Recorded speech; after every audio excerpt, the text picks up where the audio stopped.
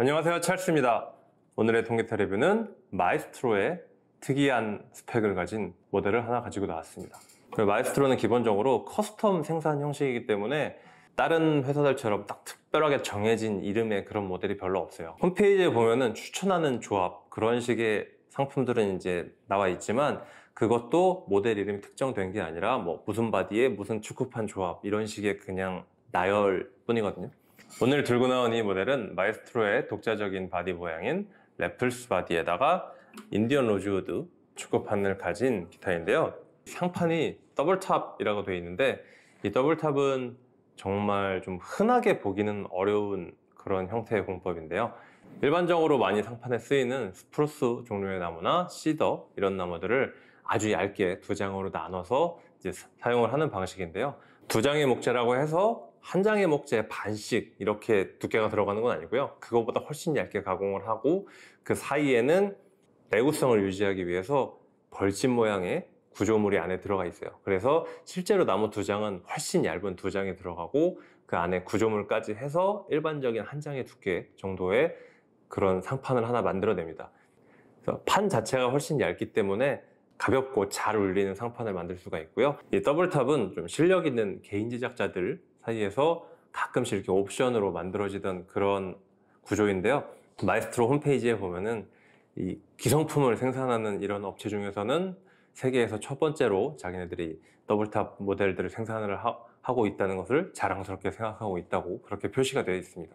이 바디 모양은 지금 이제 래플스라고 하고요. 일반적인 흔하게 보실 수 있는 GA 그 정도의 바디 크기라고 생각하시면 됩니다. 일반적인 Sitka spruce의 double top으로 상판이 이루어져 있고요. 측후판은 Indian rosewood 고급 기타에 가장 많이 사용되는 측후판 재료죠. 그리고 상판에 이 sound hole 주변에 장식을 뜻하는 이 rosette은 자개가 둘러져 있고요. 그 안쪽에는 Indian rosewood로 좀 더 고급스럽게 이렇게 장식이 되어 있습니다. 그리고 이 안쪽에 bracing이 있는데 이 bracing은 목재라는 것 자체가 똑같은 수종의 목재를 똑같은 모양으로 만든다고 해서 모두가 완벽하게 똑같은 성질을 가지는 건 아니기 때문에 그래서 같은 설계로 같은 소재로 기타를 만들어도 소리가 조금씩 달라질 수 있거든요 이 마이스트로 기타는 최상위급의 모델들이 아니더라도 예전에 소개시켜드린 카디널 시리즈나 지금 뭐 이 모델도 마찬가지고요 이 각 기타마다 목재마다 다를 수 있는 이 성질 때문에 이제 이런 걸 voicing이라고 하는데 완성되기 전에 판을 두들겨 보면서 소리를 들으면서 이렇게 그 목재에 맞게 조금씩 이렇게 수정하는 작업을 거친다고 합니다. 그래서 최대한 각각의 기타마다 예정된 설계대로의 소리를 낼 수 있게 그렇게 보정을 한다는 얘기죠.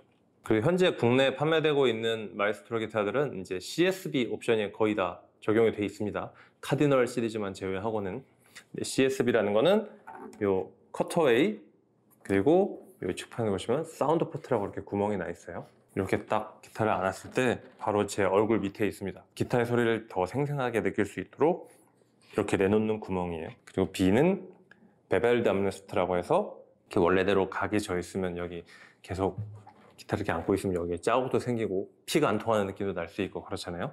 그래서 이 부분을 이렇게 대각선으로 깎아서 팔을 얹었을 때 좀 더 부드러운 느낌이 들 수 있도록 이렇게 가공된 공법이에요. 그리고 이제 상판 위에 브릿지 그리고 위에 지판재는 고급 기타에 많이 쓰이는 에보니가 적용이 되어 있고요. 이 위에 브릿지 핀도 에보니 핀이에요. 그리고 위에는 자개가 박혀 있는 이렇게 장식이 되어 있습니다. 이 앞에 새들, 이 너트는 다 본으로 되어 있고요. 일반적인 하얀 본들과 다르게 탈색이 안 된 약간 누런 기름기가 살짝 있는 그런 누런 bone으로 되어 있어요. 그리고 이 너트 폭은 44mm 폭으로 이렇게 제작이 돼서 들어오고 있습니다. 상판 테두리에 이 자개 inlay가 있고 말씀드린 대로 rosette에 이렇게 장식이 돼 있는 반면에 지판 위에는 아무런 inlay도 없이 심플하게 이렇게 모양이 잡혀져 있고요. 더 위로 올라오시면 헤드 위에도 측후판과 같이 Indian rosewood로 무늬목이 덮여 있습니다. 그리고 제일 위에는 마이스트로 로고 M자가 이렇게 박혀 있고요. 뒷면에 보시면 이 tuning machine은 Gotoh사 이런 데서 보면 Cosmo Black이라고 얘기하기도 하는 그런 비슷한 컬러인데 진한 회색인데 유광 처리가 된 그런 컬러가 되어 있습니다.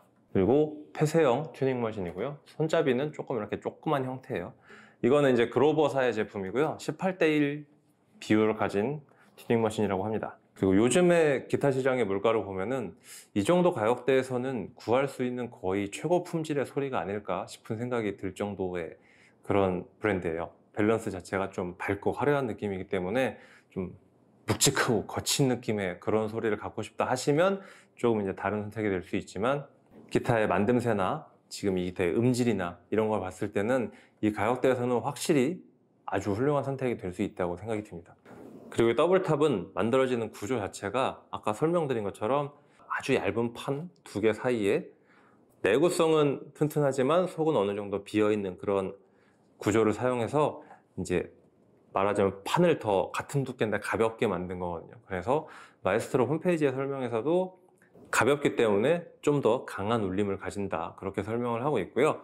제가 지금 들어봤을 때도 확실히 상당히 강한 울림을 가지고 있고, 그리고 이거는 제가 double top이라는 걸 알고 들어서 그런 건지 모르겠지만, 촬영 전에 제가 이제 혼자서 들어볼 때도 이게 약간 다른 기타와 다르게 살짝 소리가 입체적인 느낌?